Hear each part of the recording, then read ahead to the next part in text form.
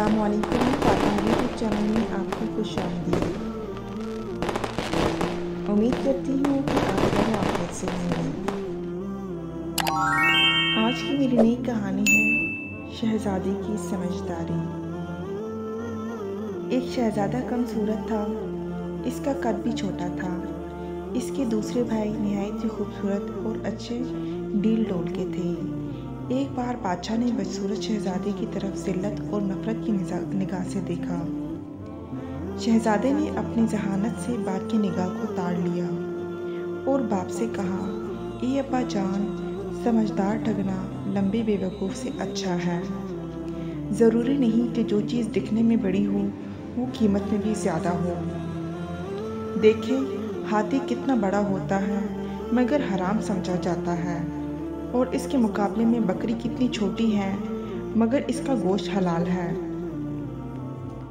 सारे दुनिया के पहाड़ों के मुकाबले में तूर बहुत छोटा पहाड़ है, लेकिन खुदा के नज़दीक इसकी इज़्ज़त और मर्तबा बहुत ज़्यादा है, क्योंकि हज़रत मूसा सलाम ने इस पहाड़ पर खुदा का नूर देखा था।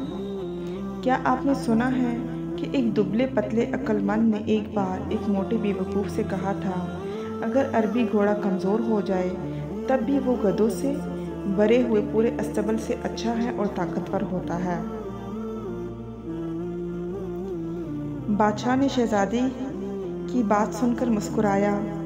तमाम अमीर और वज़ीर खुश हुए और इसकी बात सबको पसंद आई। लेकिन शहजादे के दूसरे भाई इससे जल गए और रंजीदा हुए।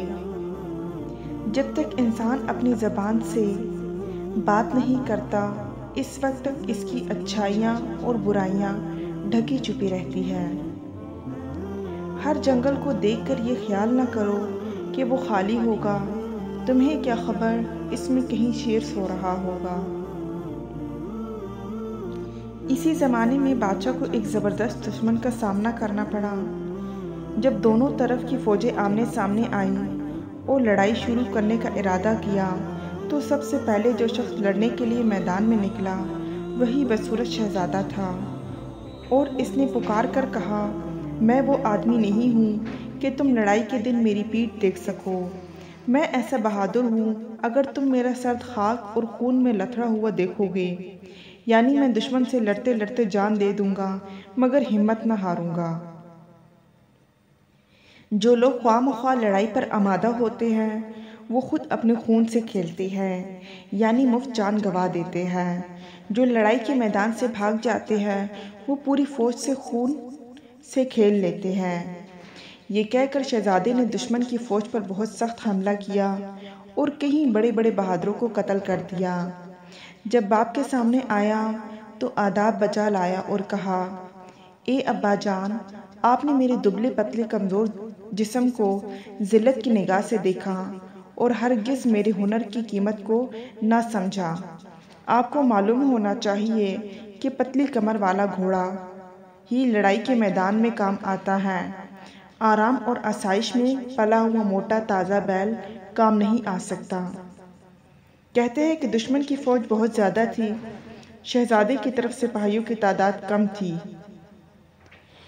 कुछ ने भागने का इरादा किया।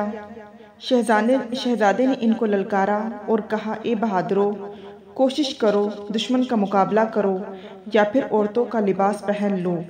इसकी बात सुनकर सिपाहियों की हिम्मत बढ़ गई और सब दुश्मन की फौज पर टूट पड़े और इसको मार भगाया और दुश्मन पर इसी दिन फतह हासिल की। बादशाह ने शहजादे को प्यार किया और अपनी गोद में बिठाया। और रोज़ बरोज़ इससे मोहब्बत बढ़ने लगी। इसको अपना वली वली अहद बना दिया। दूसरे भाइयों ने यह हाल देखा तो हसद की आग में जलने लगे और एक दिन बच्चा कल शहजादे के खाने में जहर मिला दिया। इसकी बहन ने खिड़की से देख लिया और शहजादे को खबरदार करने के लिए खिड़की की दरवाज़ा ज़ोर से बंद किया। शहजादा इसकी आवाज़ से चौंक पड़ा और अपनी जहानत से समझ गया कि दाल में कुछ काला है। खाना छोड़ दिया और कहने लगा, ये तो नहीं हो सकता कि हुनरमंद लोग ज़िंदा रहे। कहने लगा, ये तो नहीं हो सकता कि बेहुनर लोग ज़िंदा रहे और हुनरमंद मर जाए। अगर हमा दुनिया से ख़त्म हो जाए, तब भी कोई शख्स उल्लू के साय में आना पसंद ना करेगा। बाप को इस वाक्य की इतला दी गई तो इसने शहजादे के सब भाइयों को बुलाया और उनको मुनासिब सज़ा दी। इसके बाद हर एक को अपना मुल्क और एक एक हिस्सा दे दिया, ताकि आपस में झगड़ा फसाद ना करे। इस तरह ये फितना और फसाद ख़त्म हुआ। सच्ची बात यह है कि दो फ़कीर एक कंबल ओढ़कर आराम से लेट सकते हैं, लेकिन दो बादशाह एक मुल्क में नहीं रह सकते। अल्लाह का एक बंदा आधी रोटी खा लेता है और आधी दूसरे भूखे शख्स को दे देता है। मगर एक बादशाह का ये हाल होता है कि अगर दुनिया के बड़े हिस्से पर कब्ज़ा कर ले, तब भी बाकी दुनिया पर कब्ज़ा करने की फ़िक्र में